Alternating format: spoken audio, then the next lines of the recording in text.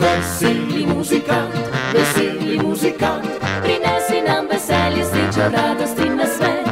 veseli muzikant, veseli muzikant, zavreska in zaboj močno na glas.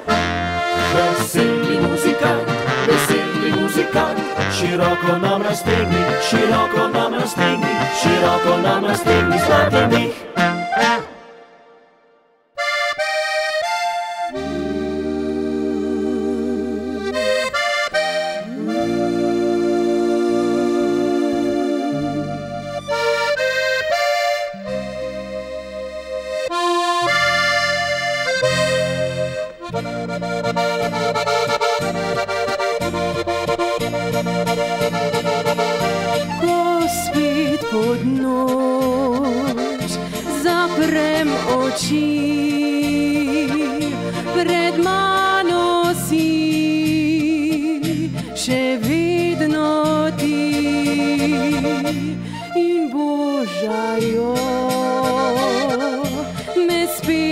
Ani.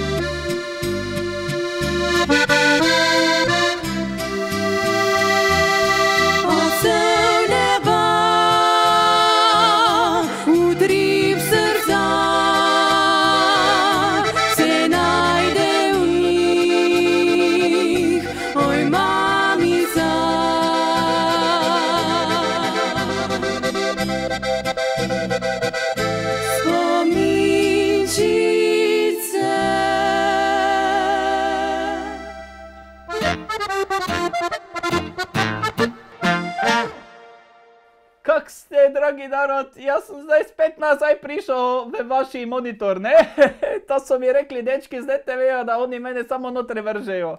Sem rekel, kak so me zadnjič noti vrgli, sem dobil otroka. to ni dobro za mene, veste. A dobro, kaj češ, a ja vam narodno glasbo strašno rad. Jaz to eh, vam rečem vsaki večer, kaj je narodno, ja to gledam in hopsa malo, ne morem plesati, imam koliko malo uničena. Dobro, pa taki dajem ritam to je to, ne. A saj bom vam vic prebral, tak dobri vic, kaj še ga niste čuli.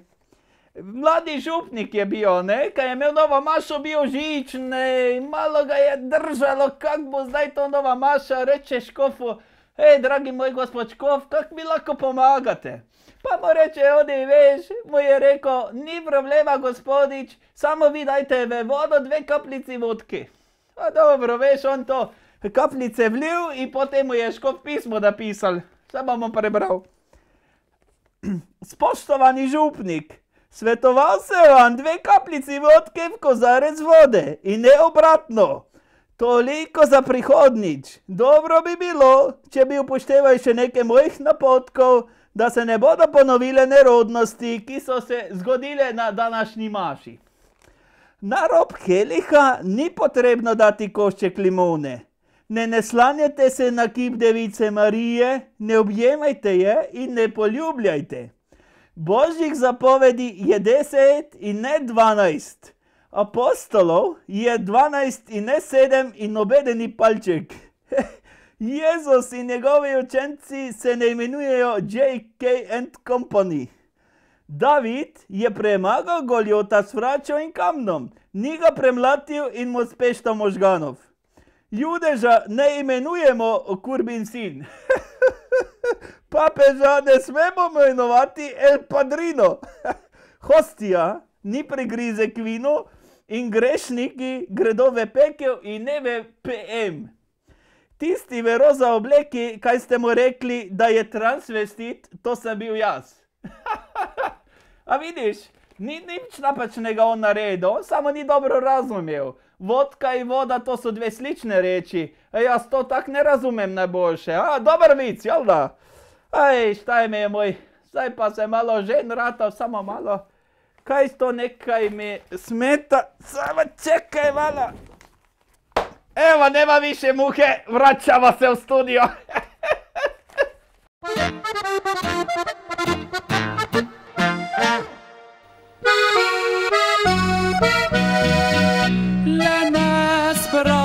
sprašuj me, sinko moj, kje neki hodijačka tvoj, ko moral zna, ma bi ostat, je srečo šel drugam iskat.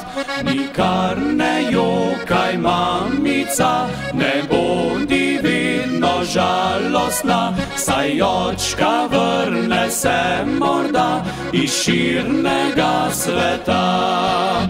In če ne pride več nazaj, obljubljam mamica ti zdaj, ko zrastem se potrudil bom, da lepo najin dom.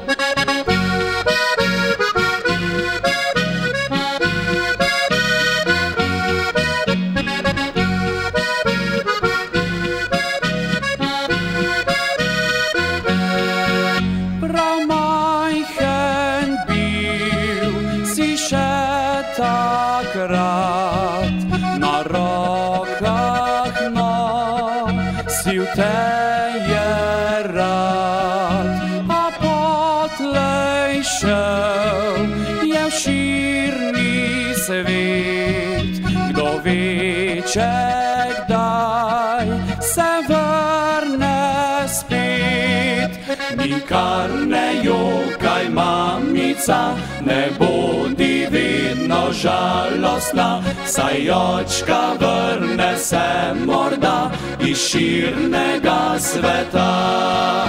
In če ne pride več nazaj, obljubljam mamica ti zdaj, ko zrastem se potrudil bom, da lepo najin dom.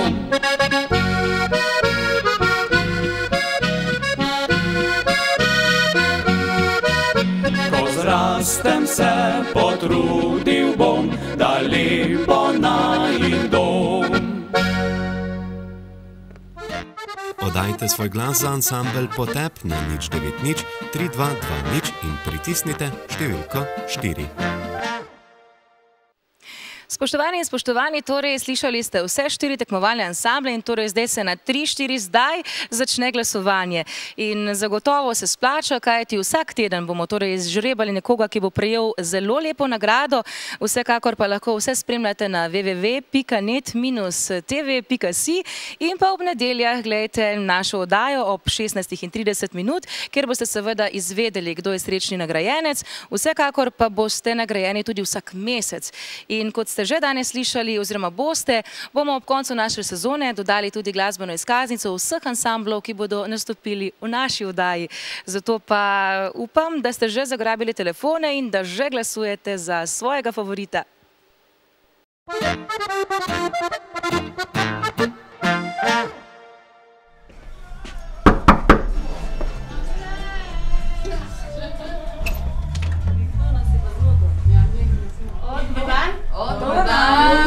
dan. Dobar dan. Živo. V nedeljskem jutru Luka z ekipa preseneti vesele štarke v hotelu Leonardo v Slovenski Bistrici. Ponavadi se dekleta na nastope pripravljajo v oplotnici, vendar so tokrat nekoliko spremenile svojo lokacijo. Beseda takoj nanese na njihove začetke in spomine iz preteklosti. Uh, vesele štarke smo nastali leta 1994. Uh, v bistvu na pobudo mojega očeta Jožeta Žlavsa, ki me je pripeljal na prireditev uh, Pokaži, kaj znaš v dobi pri planini. In tam sta bile seveda tudi Mojca in pa Marijana, vsaka je igrala na svoj instrument. In moj oče je opazil velik talent v dekletih in jih nekako kar povabil k sodelovanju. In po enem tednu smo se dobili kar pri Mojci že eh, si določile ime, ker smo vesele in ker smo štajerke, sploh ni bilo druge, bom rekla, eh, variante, da, bila, da bi se poimenovali kako drugače, kot pa seveda vesele štajerke. In tako že 18 let eh, igramo, zabavamo ljudi doma in po svetu. Kot se za vaje spodobi, so punce hitro poprijele za svoje inštrumente in začele. Ta dan so imele še namreč nastop na Koroškem in želele so se predstaviti v najboljši luči.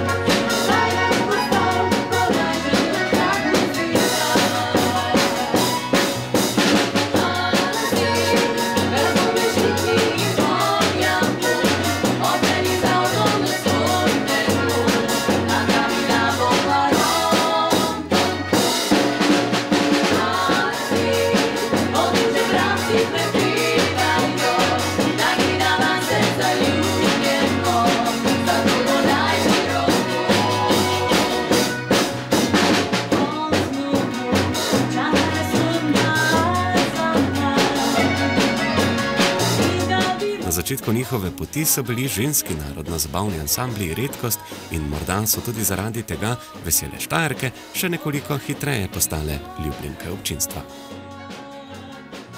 Seveda je veliko trdega dela bilo, vlož, oziroma tako bom rekla, veliko dela, veliko odpovedovanja eh, je pripomoglo k temu, k temu uspehu, da smo to, kar smo, seveda sedaj.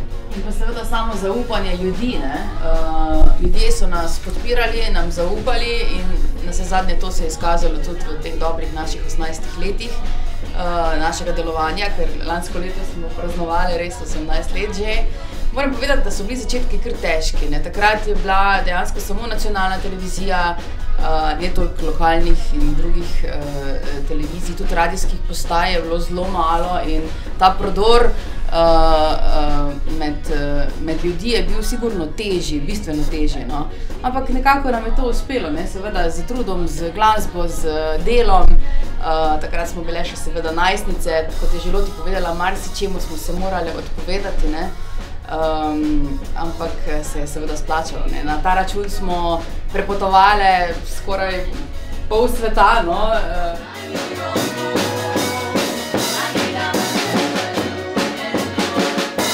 Spomini na začetne pesmi, video spate in nastape so očitno še vedno živi.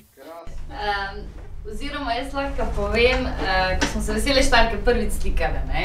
ko smo dobili v roke svoje prve kartice, je bilo tako hecno, olej, to smo mene. Ampak seveda, tedni smo bile v narodnih nožkah oblečene, Druge frizure smo Frizure, imele. definitivno. Mlajše brezgubne. Ne, verjamem. Eh, glede eh, posnetkov, pa ja, zelo zanimivo. No? Eh, naš eh, takratni eh, pisec in še seveda zdajšnji pisec Igor Podpečan je prišel večkrat na vaje in nas seveda nas tudi učil, kako moramo um, strenirati skladbico, da bo čim boljša na posnetku. In tudi um, snemanja so bila kar zanimiva, no? meni so bila kar všeč. No? Glede snemanja se spomnite, ko smo snemali video spote? Ja. Deset Vse, video vse. spotov smo posneli. Za eno celo video kaseto, ne Kaseto še. DVD. Ne? In to uh, veliko v Velenju in to vse v enem dnevu. Oziroma v dveh dneh smo snemali. Treh dneh, no, Ja. In ponavadi smo snemali, ko je bilo ful hladno, tedi smo delali zunanje kadre. Tako da smo tudi bile večkrat prehlajene. V naslednjih minutah bomo pustili vesele štajerke, da lahko v miru povadijo svoje pesmi, vendar se kmalo vrnemo. Glej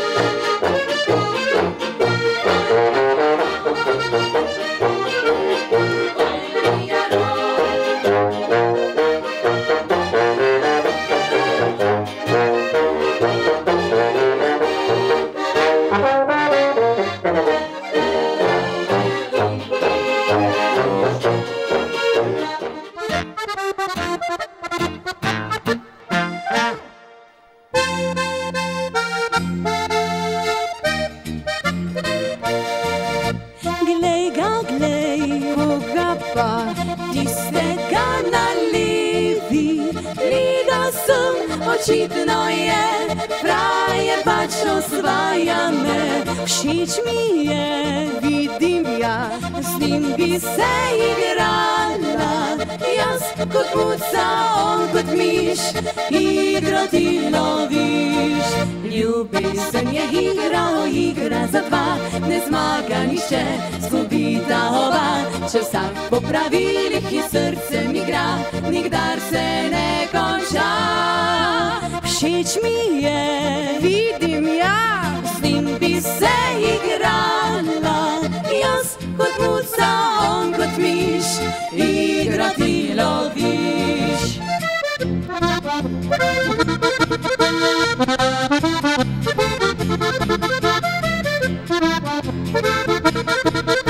Cukrček,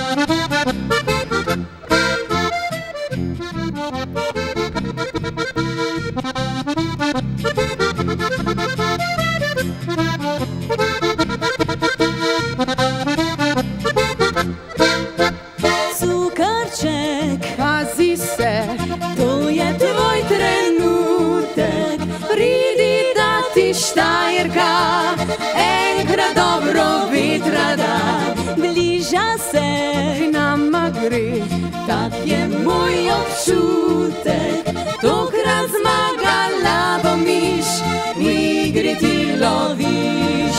Ljubezen je igra, o igra za dva, ne zmaga nišče, zgubita oba. Če vsak po pravilih in srcem igra, nikdar se ne konča. Bil je hit, zdaj je res,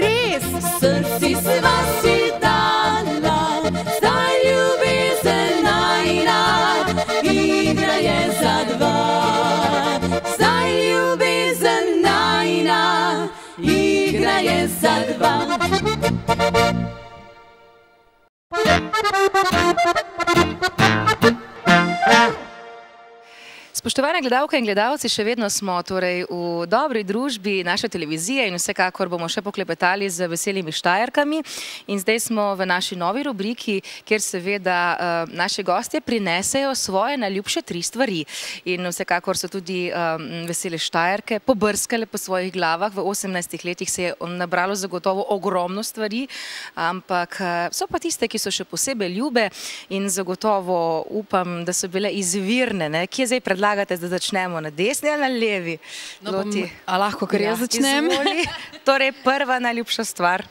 Prva najljubša stvar je uh, tukaj le pred mano, vsi jo vidijo. Uh, Harmonika. Tako, ne ravno harmonika, ampak vsi naši inštrumenti.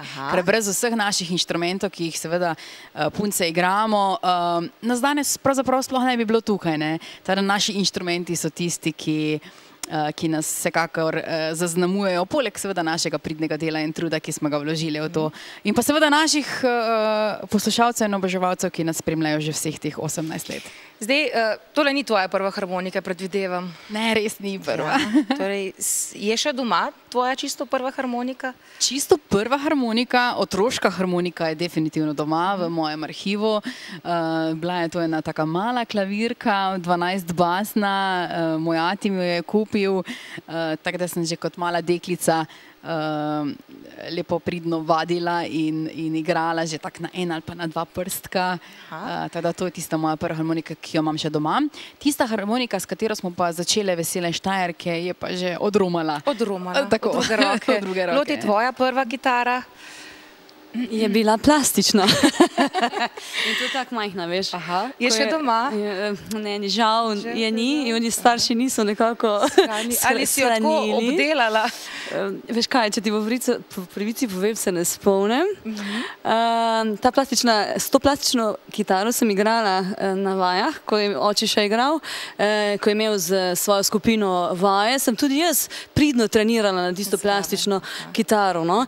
Sicer pa potem eh, kasneje, v bistvu to kitaro, ta kitara, ki, se, ki jo na, na katero sedaj igram, je druga. Eh, Prva je pa očetova, na katero sem igrala deset let. No, krasno. Ta je še doma. Eh, Ta je seveda doma Dobro. skrbno shranjena. Skrbno shranjena. Druga najljubša stvar, torej bomo kar s tabo nadaljevali loti. Ja, druga najljubša stvar je tole, kar, je, kar smo mi dve z Marjano nekako uh, naložili levo, desno. To so seveda vsi naši izdelki, ki so nastali v teh naših 18 letih. Torej, Torej, še kasete, ne? torej od leta nazaj. kaset do, do, do DVD, Zgoščenk, DVD-jev. DVD-jev, zgoščenk. Skratka, kar pridne smo bile, nastalo je preko 90 skladb, na katere smo zelo ponosne. Um, tako da, In, to. če zdaj smem še nekaj pridati, ne? ena izmed zanimivih um, stvari, ki jih bomo počeli v naših oddajah, je tudi to, da bomo za naše gledalke in gledalce tudi sestavili glasbeno izkaznico. To pomeni, da bo vsak ansambl, ki bo torej nastopal v, našem, v naši oddaji, torej poklonil zgoščenko, torej lahko apelira malce na to, da bi pa mogoče katera ostala pri nas in da ob koncu sezone našim gledalkam oziroma nekoga, ki ga bomo izžrebali, bomo bomo z veseljem poklonili torej kar 16 eh, projektov naših glasbenih gostov. Eh, Se torej lahko priporočamo za prvo darilo za naše gledalce. Seveda, Hvala Klavdija, lepa. Izvoli in tisti srečnež na koncu Ja, vaša je torej prva, uživa v Tako. naši glasbi. V družbi veselih štajerk. Odlično. Še zadnja, torej tretja najljubša stvar pa je. Ja, tretja najljubša stvar je pa fotoaparat. Aha. Zaradi tega, ker nas spremlja dejansko kamorkoli gremo, po vseh turnejah je bil z nami in eh, s pomočjo njega smo zabeležili vse lepe spomine, vse lepe trenutke, unikatne trenutke. Um, seveda s temi slikami smo si potem opremili tudi nekatere CD-je, pa seveda spletne strani, oziroma spletno stran, pa tudi Facebook stran. Tako da mislim, da je to ena, ena mislim, Lepa imeti ogledalo, Tako. ne, ki ostane večno. Tudi s potovanj zagotovo veliko fotografij. ne? Ja. Kje vse ste bile na hitro, še naštejemo to? Eh, d- Recimo Avstralija, Kanada, Sejšeli, Amerika, Škotska, Švedska, eh, pa verjetno tu. Nemčija, Avstrija, tudi sosednje države. Bližnje vseeno. države. To sem že jaz Kam- tudi doživela z Aha. njimi. Ne, da, uh, Kam pa bi še šle, recimo, če bi uh, jaz bi možnost? definitivno hotela pogledati Ameriko. Ameriko, no, z Mojca? temi puncami, seveda, Mojca, ker kam bi so šla ti? dosti dobra družba. Ne? Uh, mislim, da mene čaka še Južna Amerika, ja, kak Argentina in Brazilija. Naprimer. Dobro, Ja. loti. Ja, jaz pa kar na vzhod, recimo Kitajska, Tajska. Tajska, Tajska, Ja, krasno. ja. Marjana. Tudi jaz bi šla na vzhod, tam še nisem bila. A, torej Tajska, Druga sem pa že Kitajska. dala.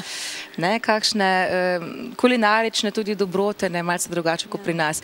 Krasno. Hvala lepa torej za tale klepet. eh, Odlične ste bile, zares hvala lepa torej za našo prvo eh, glasbeno izkaznico, ki jo bomo seveda z veseljem položili kot prvo darilo za naše gledalke in gledalce. Seveda, vsi tisti, ki boste glasovali, boste imeli torej možnost, da ob koncu naše sezone torej imate vstopnico že žreb, kjer boste torej seveda lahko prejeli kar 16 zgoščenk naših ansamblov, ki se bodo zvrstili vse tja do konca junija.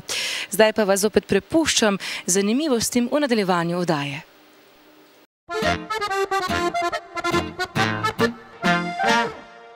Nocoj pa ljubica ti, nocoj srce me boli.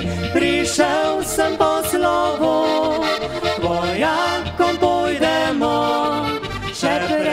se poslovi. Ti ljubca srečo želim, počakaj me do takrat, ko več ne bom soldat. Ko sred ljudi življenje se odvija hitro dan za dnim. Se večkrat srečati na slike, že večkrat baka mi povi. Vsak sončen dan, odprta dlan, seashells on sandbars.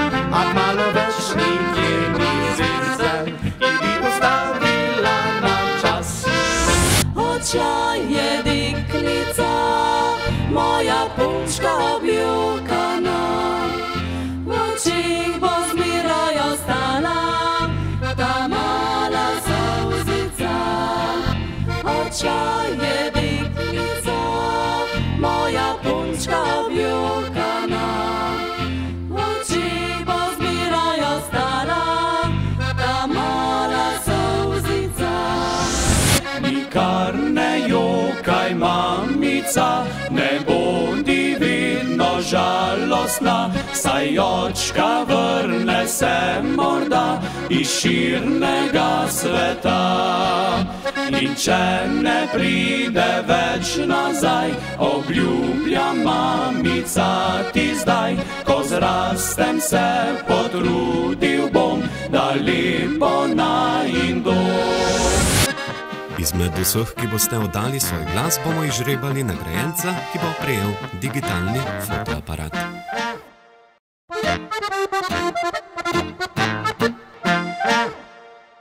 Torej, dragi gledalci in gledalke, lepo pozdravljeni. Zdaj ni več muhe, nič ne smeta, zdaj se lahko dobro vidimo in čujemo, ne? E, dobro, in mi kamerman dela tak, tak, onda to pomeni, kak mi je rekel prej, to je znak eh, onih naglušnih, da dobro je. Da, ja, to vidiš. A zdaj sem oni vic našel, kaj sem rekel, da vam ga moram jo povedati. In piše tu v reviji, zdaj čaj, cajcopis berem, ne, cajtinge. Piše, skupina teroristov grabila Janšu na avtoputu, na, na avtocesti. Joj, kaj pa zdaj, ne pride eden mimo, reče, pa kaj so zahtevali teroristi. Pa oni reče, ja, da zahtevajo 10 milijonov evrov. In če ne bomo zbrali, ga bodo polili z bencinom in zažgali. In vpraša on ima, kaj ste saj, koliko ste zbrali denarja? In on reče, 10 evrov, 500 litrov benzina in 5 žigalnikov. kaj je, oj, dobro. Oj, oj, oj. Bože moj, jaz sem zvedel tu dečkov, da je. Vesele štajerke so vodaji. O, to bi ja rad pobliže videl, ono loti. Ova loti, ona je tak dobra. Joj, kad to deklice migajo, oj, oj, oj. Ja imam slabi kolk. A vam rečem, kad sem jaz to videl, in jaz sem bil, eh, samo malo. Al... Halo? Ja, lovac? Ja, ne, ni lovec tu, Lojzek. Ja, a vi ste trgovina lovec. A vi ste lovec. Aj, dobro, dobro. Ne, ne, ne, ne, ne trebam orožje. Ne, ne, ne, jaz sem imel orožje, a kad sem pospravil nekoga, vzeli so mi pušku. Ne, ne, ni, ni, ni, ne, ne, ne, ne, ne granato, ne rabim granate. Ne, ne, imel sem plinsko bombo in sem lepo rešil. Ja, ja, lepo sem rešil, plinsko bombo tašča ni vedela, ni slišala in bilo je lepo. Ja, ne, ne bom nič kupil, a akcijo imate. A, dobro, dobro, dobro. Kaj je akcija, je akcija, ne, dajte onega kličite, Frančeka, soseda. Ej, tak, tak, njega pokličite, on ima još tašču živo. Ja, samo ga vi pokličite, rečite, da je akcija, okej. Ja, dobro, dobro, nemojte me več klicati, dobro, ker bo sumljivo ratalo. Ja, komaj sem se rešil policije. Dobro, adijo. Eh, de, sve tičejo prodati, jela. In zdaj me še s trgovine kličejo. Ko, kot terorista, ma, joj. Ajmo, joj, grem jaz prebrati još kaki vic, da vam lahko povem. Za če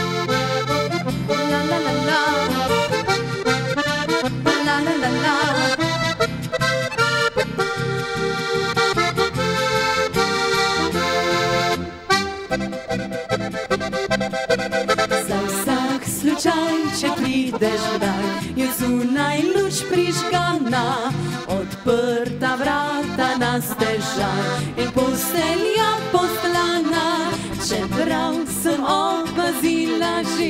da manjka ti poguma, vem, da se ti topi srce, ko name spomni se na sredi mojega srca. Mi nekaj tiho šepeta, da vate sem zaljubljena, kot če nobenega na sredi tvojega srca. Kraljica rada bi bila, ne boj se me in pridi že pod moje okence.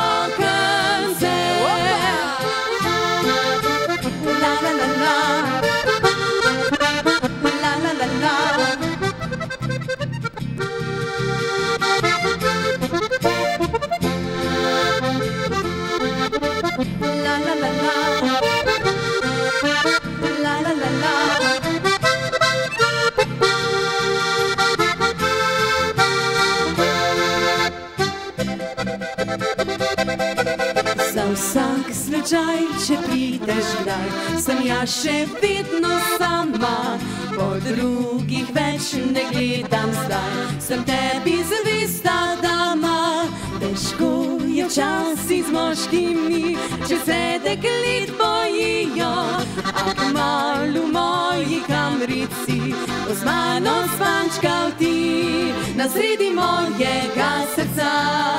Ni nekaj tiho šepeta, da vate sem zaljubljena, kot če nobenega na sredi tvojega srca. Kraljica rada